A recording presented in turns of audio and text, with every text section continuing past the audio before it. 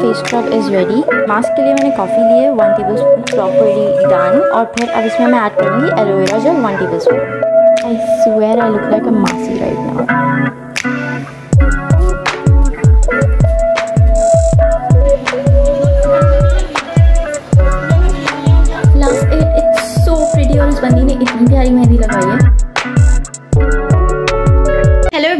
welcome to explore with Veera and welcome to another vlog scene ये है कि जो व्लॉग मैंने शूट किया था चाँद रात का आई गॉड की उसकी स्टार्टिंग भी शूट करनी है वो मैंने की नहीं थी और मैंने व्लॉग ऐसे ही स्टार्ट कर दिया था। तो उसकी स्टार्टिंग मैं अभी शूट कर रही हूँ एंड देन फिर मैं पूरा दिखाऊँगी कि मैंने चाँद रात पे क्या क्या किया था। The vlog is gone start off मेरी पैम्परिंग रूटीन से जो मैंने शुरू की थी like skin care hair care ये सब किया था, उसके प्रोडक्ट्स बनाए थे।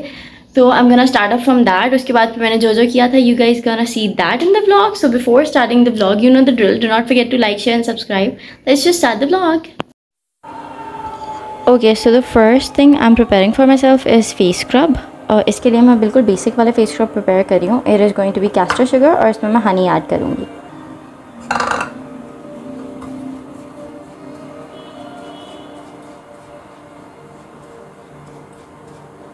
And my face scrub is ready इसकी इतनी ही कंडेंसी होनी चाहिए। Moving on to next step अब मैं बनाऊँगी अपने लिए फेस मास्क उसके बाद फिर hair mask okay face mask के लिए मैंने कॉफ़ी ली है वन टेबल स्पून अब इसमें थोड़ा सा वाटर ऐड करूँगी मैं।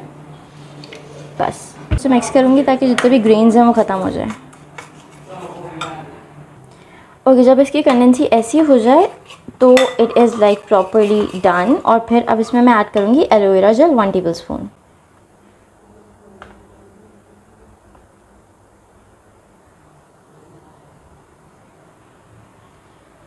I think ये थोड़ी सी कम है तो मैं ओप्स तो मैं 1.5 ले रही हूँ।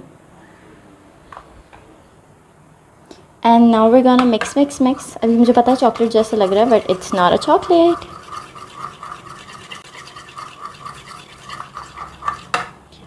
okay so for the hair mask we'll be needing coconut oil जो मैंने इसमें डाल दिया ऑलरेडी दो टेबल स्पून अब मैं इसमें डालूँगी castor oil one half tablespoon almost और फिर हनी डालूँगी वन टेबल स्पून सब इंग्रेडिएंट्स मैंने ऐड कर दिए now we gonna mix mix mix because oil में हनी को मिक्स करना एक टास्क होता है थोड़ा सा so we gonna do that properly okay so mission accomplished ये हो गया है मिक्स अच्छे तरीके से. अब मैं सबसे पहले हेयर मास्क अप्लाई करूँगी.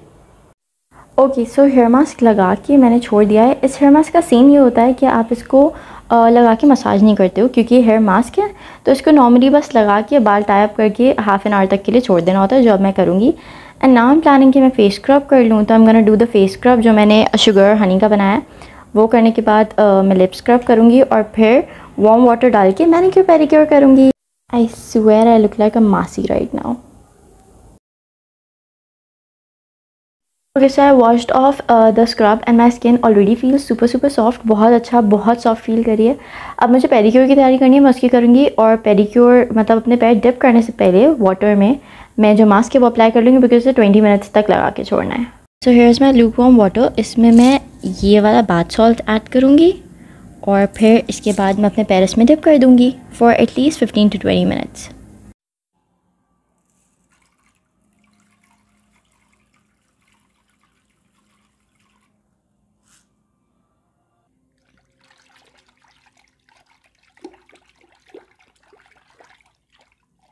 okay अब मैं थोड़ा सा डव का बॉडी वॉश भी इसमें ऐड कर रही हूँ for moisture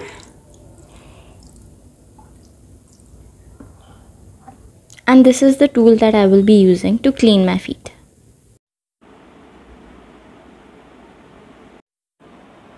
almost done with everything वो जो मास्क था वो मैंने लगा लिया था फेस पे but I couldn't show you guys that because वो बहुत ड्रिपी था.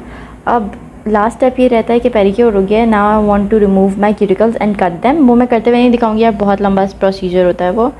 एक लास्ट चीज़ लगाऊँगी and then I am gonna hop in to the shower there is one thing that I am gonna do कि मैं बिफोर और after दिखाऊँगी। ये मेरे नेल्स और हैंड्स हैं बिफोर रिमूविंग द क्यूटिकल्स और अब जो मैं क्यूटिकल्स रिमूव कर लूँगी तो उसके बाद मैं डिफरेंस दिखाऊँगी इनका।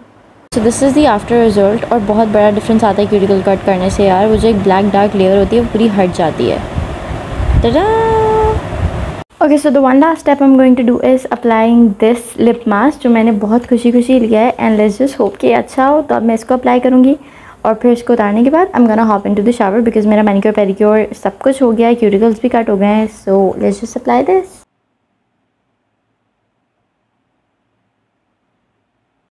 okay all done shower ले लिया मैंने सब कुछ कर लिया all the pampering is done अब मेरी वैक्स वाली आएँगी फिर मेरी वैक्स हो जाएगी after getting the wax done मुझे जाना salon with my friend mehndi लगवाना बिकॉज़ ऑब्वियसली चांदा थिंग्स तो वैक्स करवाऊँगी फिर मैं मेहंदी लगवाने जाऊँगी and I will show you guys मैं कैसी मेहंदी लगवाती हूँ सो लेट्स जस्ट सी यार I just wanted to show you guys कि इस हेयर मास्क से इतना अच्छा रिज़ल्ट आता है like I don't know if you can see और नॉट बट इतने सुपर शाइनी और सॉफ्ट बाल हो जाते हैं आई लव इट मतलब इस हेयर मास्क का रिज़ल्ट बहुत अच्छा है। It's my all time favourite hair mask if you want to like apply it you should apply it once a week इसको अप्लाई कर लो। बहुत अच्छा रिज़ल्ट आता है इसके बालों पर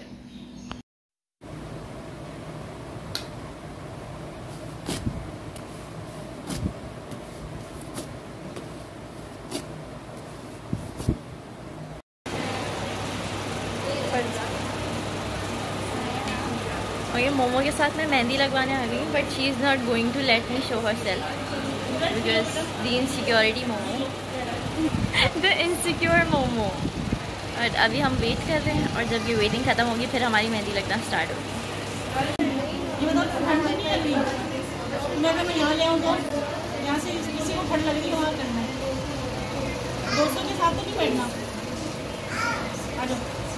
जाओ। सनम। तो चलिए घर आ गए मैं मेहंदी इज़ डन यार, ये जब लग रही थी, तब I couldn't like make a proper blog क्योंकि ये वाली लग रही थी, तब तक तो मैंने थोड़ा बहुत कर लिया था। जब ये लगी है I couldn't do anything but I love it it's so pretty और इस बंदी ने इतनी प्यारी मेहंदी लगवाई है। ये मेहंदी भी हमने वीडियो बाई जी से ही लगवाई थी बिकॉज़ हम लोग कल गए थे हेयर कट के लिए तो वी गॉट दी आइडिया कि मेहंदी लग रही है। और अच्छी लग रही है तो हम आज वहीं चले गए हमने वहाँ से लगवा ली। मैंने और मोमो ने साथ लगवाई obviously because your best friends तो खैर it is so pretty I am obsessed I am literally obsessed बहुत प्यारी लग रही है ये। अब सीन ये है कि मैं इरिटेट हो रही हूँ, क्योंकि मेहंदी गिर रही है जगह जगह क्योंकि ये ड्राई हो गई है ऑलमोस्ट तो I am planning to wash it because सब बोलते हैं कि भाई पूरी रात छोड़ो डार्क कलर हो जाए।